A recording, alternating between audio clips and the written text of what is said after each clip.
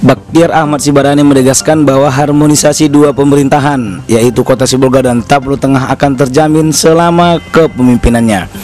Menurutnya adanya pihak-pihak yang menuding jika Sibolga dan Tapteng sering berselisih paham dalam banyak persoalan adalah ucapan yang asal bicara dan tidak bisa dipertanggungjawabkan. Baktiar mengaku dirinya dan Darwin Sitompul punya hubungan emosional yang baik dengan Sarfi Utauruk selaku wali kota Sibolga. Tidak ada yang berselisih paham. Tidak ada berselisih paham pernah Tapteng sama si Bolga. Tidak ada. Itu hanya orang-orang yang salah bicara mungkin, yang asal lepas saja ngomongnya. Tidak, kita ini saudara. Si Bolga Tapteng. Saya Darwin Sitompul, adiknya wali kota si Bolga. Adiknya Haji Sarpi Utauru sama Kadil Miria Kumbang. Adiknya saya ini. Mana mungkin saya berselisih sama abang saya? Mana mungkin Pak Darwin berselisih sama abang dan kakaknya? Mana mungkin saya berselisih sama abang dan kakak saya? Tidak mungkin, walaupun bukan adik kandungnya.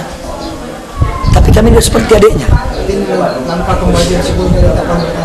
Sudah barang tentu kami sama saya sama wali kota yang notabene abang kami sendiri, ya pasti lebih baik ke depan. Pasti lebih baik ke depan. Dan saya jamin tidak akan ada perpecahan antara pemerintah Sibolga dan Tengah. Saya jamin itu. Samsul Pasar Ibu, Nauli TV mengabarkan.